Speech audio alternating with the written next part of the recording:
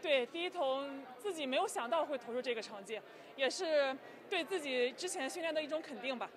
赛前对自己的预估也就那个六十七米，然后自己投到六十九米，自己也是很惊喜，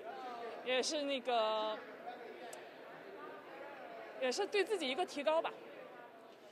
呃，因为说一个新的开始吧，我会以这个金牌，以这个成绩为那个起点，继续努力，继续那个突破七十米。